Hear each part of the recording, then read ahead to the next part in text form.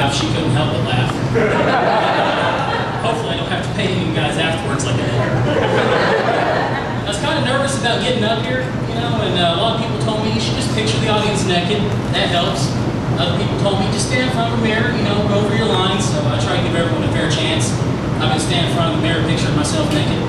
Uh, one day I didn't feel very imaginative, so I just got naked. And I'm standing there and I have a comb in my hand for a microphone. My wife comes up and says, "What are you doing?" Getting ready. What's it look like? It looks retarded. And that's okay. And she doesn't know anything about comedy. All right. Comedy's in my blood. My granddad was a clown. His name was Ho Ho. And uh, you know, I can always tell that my, my dad wanted me to follow my granddad's footsteps.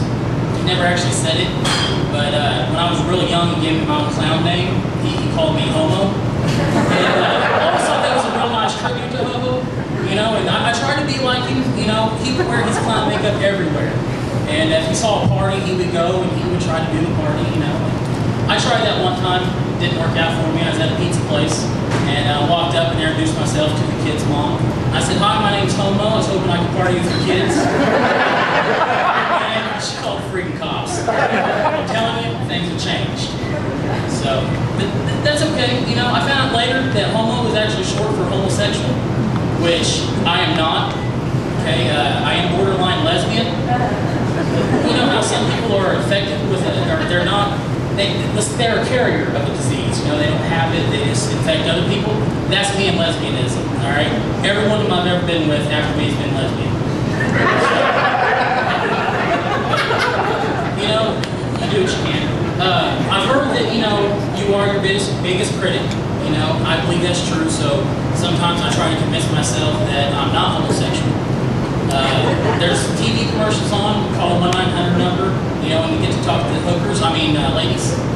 You know, so I called, and uh, she said, Hi, my name's Melissa. It sounds like a tra transvestite line, but I did, she was bisexual. She said, Hi, my name's Melissa. I'm here to make all your fantasies come true. I was like, Wow, you're going to clean my house.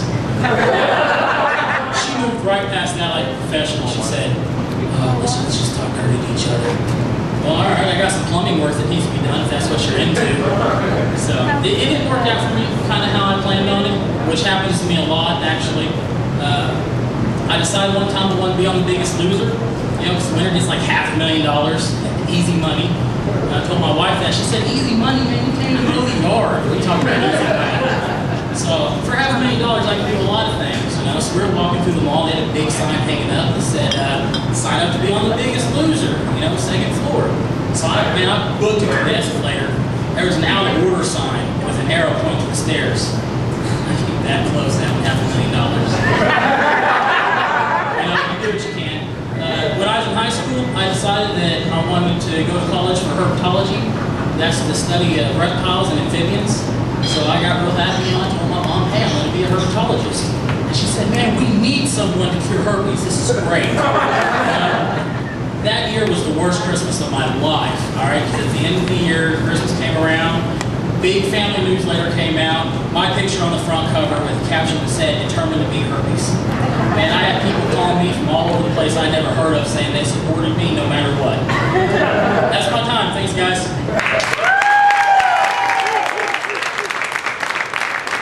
Richard Birchall, let him